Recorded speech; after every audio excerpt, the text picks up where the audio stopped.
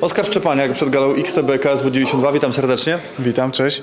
No tak się zastanawiałem, że w sumie prawie jak w domu, ale jakbyś tak zastanowić, to nie wiem, czy nie macie podobnej odległości z twoim rywalem i tutaj od razu pytanie, który kibiców będzie e, więcej. No Michał, jeszcze nie pytaliśmy, jak to u ciebie wygląda, ile udało się sprzedać, no bo doskonale wiemy, że Gorzów jest sold out, te bilety poszły w niewiarygodnym tempie.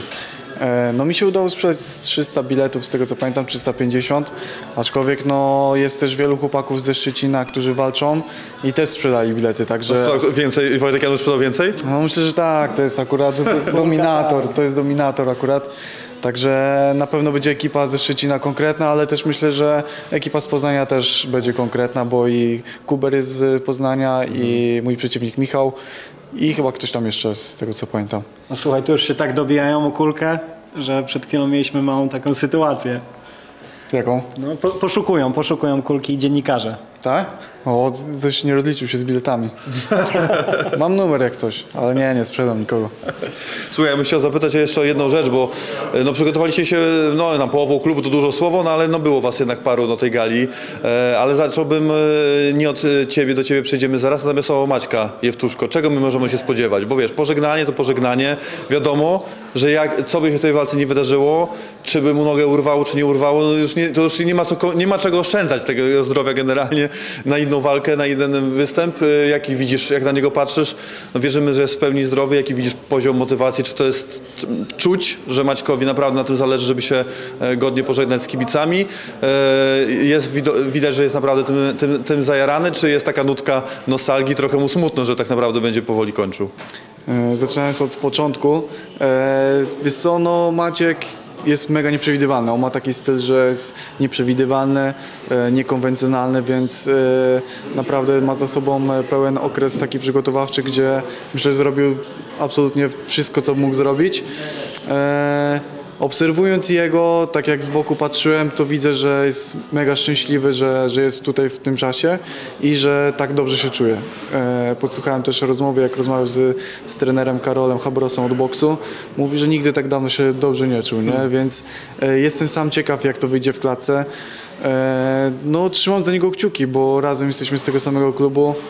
Mieliśmy okazję się razem przygotowywać. Widziałem, jak, jak mu idzie na przygotowaniach, także jestem dobrej myśli.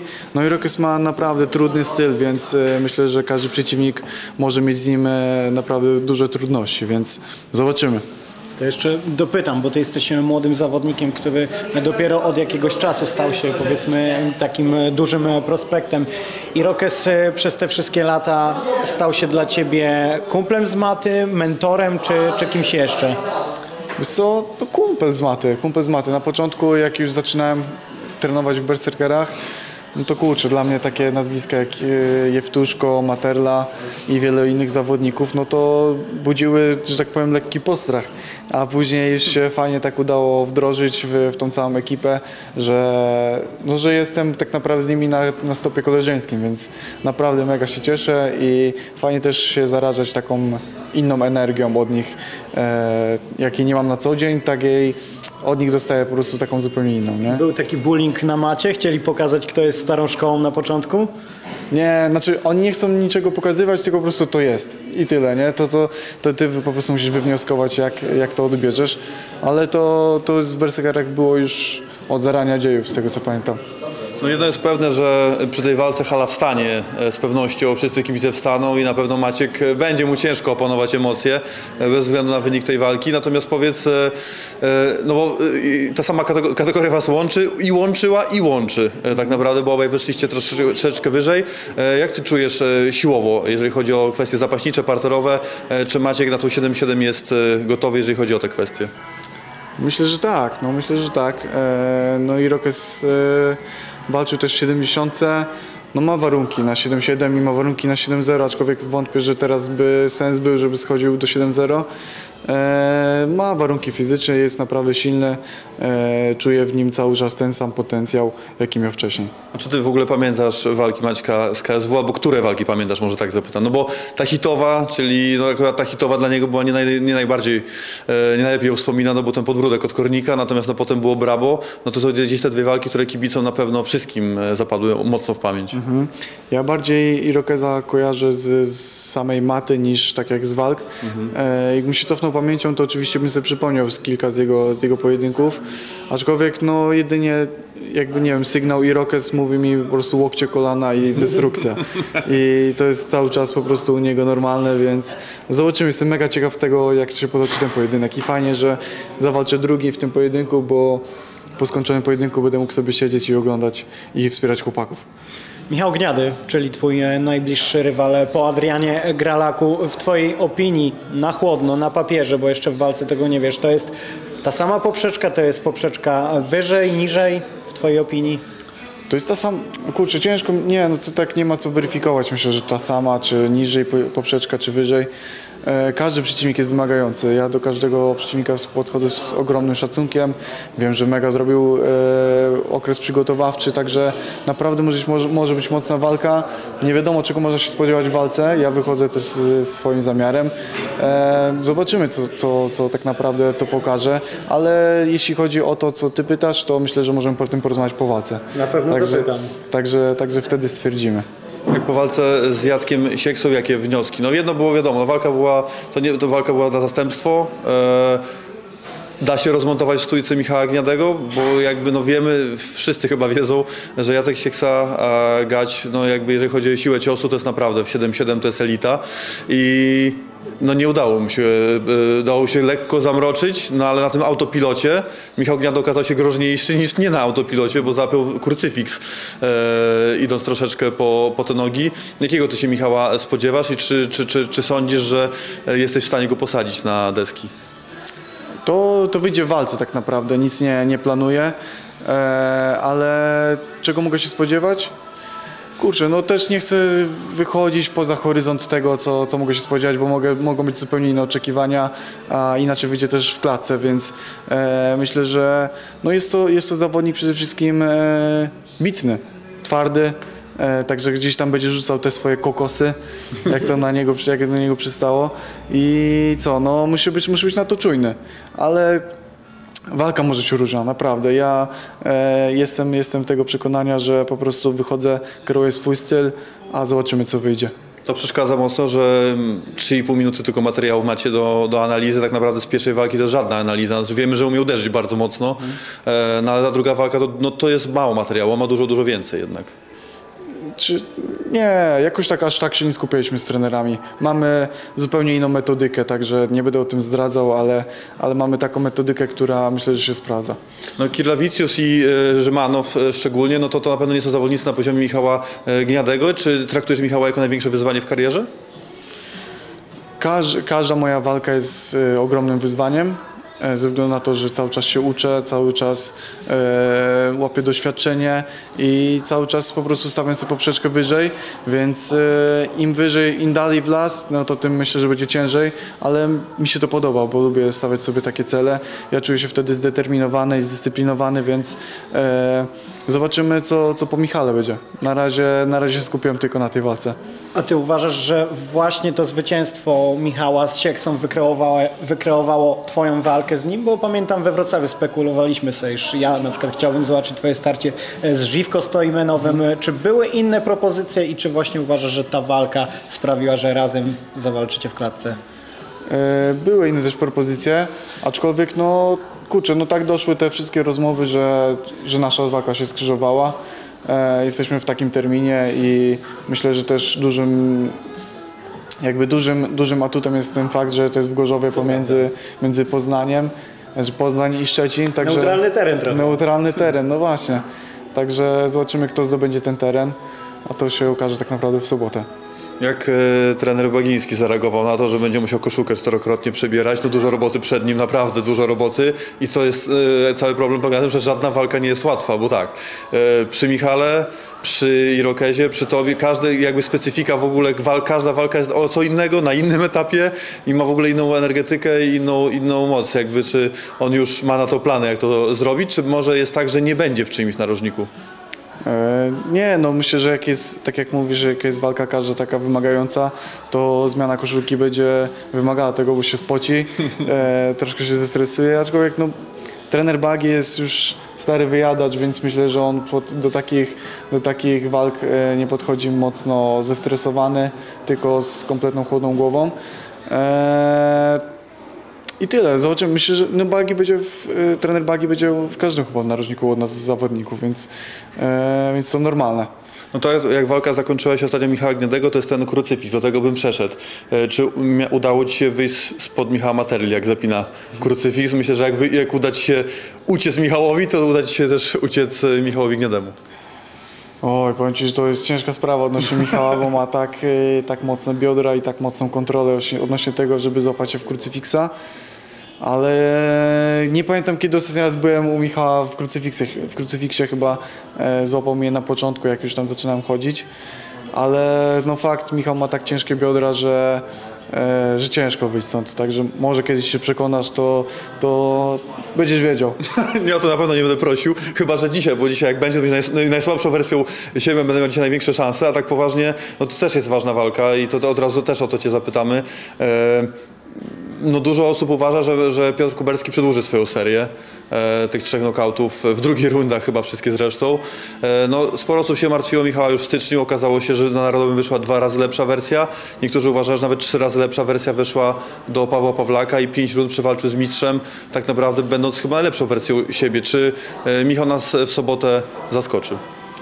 E, nie, myślę, że Michał nie zaskoczy, aczkolwiek po prostu zrobi, zrobi to, co, to, co Michał, czyli e, pokaże charakter, pokaże swój styl i myślę, że e, ja kurczę, powiem Ci, że obserwuję tak naprawdę Michała i widzę, że on z walki na walkę jest jakby coraz bardziej się rozwija, że to jest mega dziwne, no bo on już jest w takim wieku, że, e, że każdy właśnie mówi, że powoli już powinien przystopować, spauzować, a on się mega rozwija, on ma mega zajawkę, wysyłamy sobie filmiki z danych technik, mówi ty zobacz to, rozmawiamy o tym na treningach. I widać, że on analizuje myśli i myślę, że, że jeszcze jest naprawdę w stanie dużo pokazać w, w klatce, także no też powiem Ci, że to jest takie zestawienie, że mega na to czekam, bo e, Kuber jest też mega solidnym zawodnikiem, ale tak samo jak i Michał, więc e, myślę, że może być walka zakończona przed czasem. Zobaczymy. To nieco ponad 20 lat MMA w Polsce pokazało nam, że te gwiazdy, które pokochaliśmy, jeśli chodzi o sportową karierę, nie będą żyły wiecznie. To też, czy tobie niedawno nie przeszło przez myśl, że ta gala będzie swoistym przekazaniem pałeczki przez Irokeza właśnie tobie? E, No fajnie, że tak na to w sumie spojrzałeś, bo tak nigdy nie, nie do tego nie podchodziłem e, pod pryzmat e, tego, że po prostu oni mi przekazują pałeczkę i ja jestem następnym pokoleniem. Odczuwam też to tak, że jestem takim młodym pokoleniem berserkerów, który wchodzi i ma utrzymać pasce. To nie jest dla mnie presja, ale po prostu też taki zaszczyt, bo e, berserkerzy to było, Berserker z Szczecin to było miasto, miasto tak naprawdę takich wojowników kolebka. I e, no teraz już ci zawodnicy są nieco starsi i powoli zaczynają kończyć swoją karierę, więc e, co, wszystko w moich rękach, można powiedzieć. Nie, oczywiście żartuję, ale zobaczymy. No, ja daję się maksa, nie narzucam sobie takiej presji i mam jeden cel w głowie, który, który gdzieś tam mnie cały czas niesie do góry, a zobaczymy jak to, jak to się potoczy dalej. Wielka chwila Ili Topuri w UFC. Pamiętam, wspominałeś nam o tym przed KSW we Wrocławiu. Iż zdarzało Ci się sparować, zapraszał Cię do Hiszpanii, do siebie. To też e, poprosimy o krótki e, komentarz. Czy też miałeś na okazję nawiązać z nim e, po tym wielkim sukcesie kontakt? Nie, akurat e, nie nawiązaliśmy kontaktu po, po tym sukcesie, aczkolwiek e, no powiem Ci, że mega się cieszę z tego, że, że, że wygrał, ale tam też jak byłem w tym klubie, to e, on wtedy się przygotowywał pod Josha Barnetta? Nie, Josha Emeta. Emeta, sorry, no. Josh Emmet i... Ale zobaczymy walkę z Joshem Barnettem. Tylko może nie w grapplingu. I tam każdy mówił, że zobaczysz, on, by, on, będzie, on będzie miał pas, nie? I co chwilę każdy mówił, że oni mówili z takim przekonaniem, że, że też fajny, fajnie to się po prostu oglądało, że e, w klubie jest takie wsparcie, jest tam taki mental, że po prostu oni, oni wierzą w to, że on będzie miał pas. I kogoś tam nie spytałem, to oni mówili, że kwestia czasu, że będzie miał pas, nie? I A Ty żyłeś z tym przekonaniem? że on będzie Też miał Ci pas? się to udzieliło, tak? No powiem Ci, że e, kurczę, ja też po takich, wiesz, po, po takim e, okresie, który tam byłem chyba z dwa tygodnie, no to ciężko mi było stwierdzić, czy on będzie miał pas, bo ja nie wiem jaki jest poziom UFC, wiesz co chodzi, ale teraz, wiesz, jak ja patrzę, że sparowałem z nim, a on ma pas UFC, mówię, kurde, że na jakim ja poziomie jestem obecnie, aczkolwiek no to już jest inna kategoria wagowa, nie? Ale gdzieś tam miałem jakby wizję tego, mówię, kurczę, zawodnik UFC ma pas, ja z nim robiłem trzy rundy, jestem mega zadowolony, bo fajnie się to wszystko potoczyło, to gdzie ja będę, nie? gdzie ja zajdę. Także no, dużo dawka motywacji. Im jemu idzie, da, im, jemu, im jemu idzie lepiej, tym e, ja się też lepiej czuję, nie? Także fajnie, naprawdę. Przed- niesamowita historia, że w ogóle ja tam byłem i, i też mam też e, tam kontakt z, z menadżerem od Ili, więc e, myślę, że, że też będziemy w kontakcie, a coś tam się zapowiada, że z Omalejem jakieś tam głoski idą, nie? Także wiesz, ja mogę styl kreo- kreować Omaleja, tylko że jestem chyba za niższy. No, Zapytał jeszcze o Aleksa Topurię. Mówią, że lepszy nawet, że jest większy potencjał w nim niż w samym Mili. No, powiem Ci też z Aleksem robiłem i kurczę, na taką wagę jak on jest, on chyba 6'1", no jest piekielnie silny i w ogóle cardio jakie ma i ruch, to jest po prostu pomniejszona wersja Topuri, Ili, Ili Topuri i myślę, że on chyba też już zaraz ma jakoś... Tak, wejść- kontrakt UFC, tak? tak, tak. No, no to on też już wchodzi w UFC i myślę, że kwestia czasu, a będzie o nim głośno, bo naprawdę jest mega mocny i szczerze, no kurczę, nie wiem, czy za jakiś czas on też nie będzie miał pasa, nie? Bo Był braci z pasami UFC. braci do Puri, nie? No, Jeszcze Oskar jak dołoży? trzeba jeszcze Oskarek dołoży, no właśnie. No tam jeszcze jest szansa, no myślę, że Ilia no, pewnie pas obroni, ale no pewnie e, będzie powoli też, no myślę, że nawet szybciej niż wolniej o, o to, żeby zaatakować pas wyżej. No tak, no ale też tam e, w 70 ci chodzi, nie? No Żeby pewnie zrobić- poczeka na odejście Islama raczej, ale może nie. A może nie, no zobaczymy. Myślę, że on chyba będzie się skupiał tylko na na, na tej 6-6, a walka z, nie wiem kto tam będzie następny w kolejce, czy O'Malley, czy, czy kto, kogoś mu tam innego To da. Max Holloway jak wygra. Max Holloway. No zobaczymy, zobaczymy, ciężko mi stwierdzić. Wiadomo. Tyle, a to jeszcze tylko, y, y, bo to pewnie też sporo osób interesuje odnośnie tego, z ilu ty kilogramów schodzisz teraz do tych 77, no bo ja jestem też w tej grupie, która jednak powątpiewała w to, czy jesteś zawodnikiem 7-7 faktycznie, czy ta 7-0 nie jest dla ciebie lepsza. Ostatnio udowodniłeś, że, że nie, że dajesz sobie radę w tej 77, no to z ilu schodzisz? Czy z 80, czy bardziej z 85, czy tam nawet jest na liczniku, na rozsterowaniu jeszcze dziewiątka z przodu? Nie, dziewiątki nie ma, aczkolwiek y, czasami podjeżdża pod dziewiątkę, ale mam tak, że wiesz, że y, dla mnie nie sztuką jest, żeby jak najwięcej ważyć i jak najwięcej zbijać, żeby później na walce być nie wiadomo jak ciężkim, tylko ja mam, ja patrzę pod pryzmat tego, jaki jest mój performance na sparingach, w jakiej ja wadze się najlepiej czuję i powiem Ci, że no i tak teraz musiałem troszkę zbijać tych kilogramów, ale no ma zupełnie inne przełożenie, jakbym miał zbijać na 70 kg, więc y, mam obiekcje wobec tego, kiedy walczyłem w 70 kg, a teraz w 77 E, aczkolwiek teraz będzie też moja druga walka w 7-7, to też będę mógł sobie zaobserwować. No myślę, że względem tego, jak robię z chłopakami z 7-7 i 8-4, no to naprawdę fizycznie się mega dobrze czuję. I to jest, czuję, że to jest taka moja kategoria wagowa, że, e, że mega mega sprawnie się czuję, też tak atletycznie, nie? I, i, I zbijanie wagi mnie aż tak nie wyniszcza jak w 70, bo nie miałem życia przy 70. Czyli 70 kilo to temat zamknięty całkowicie. Zamknięty, zamknięty całkowicie. To co, my życzymy drogi przynajmniej e, tak dobrej, jaką e, obrał e, Ilia. No i co? Skupiamy się na KSW 92. Baw się dobrze w klatce i wyjdź z niej cały zdrowy. Dokładnie, dziękuję Wam bardzo i chciałbym też z tego miejsca podziękować moim trenerom za to, że mnie dobrze przygotowali, że o mnie dbają, e, mojej rodzinie, mojej rodzic, moim rodzicom, e, mojej dziewczynie, także jestem, jestem bardzo dobrej myśli, mam wszystko, mam wokół- siebie wspaniałych ludzi, więc nic tylko czekać na sobotę. Tak jest, dziękuję bardzo. Dzięki.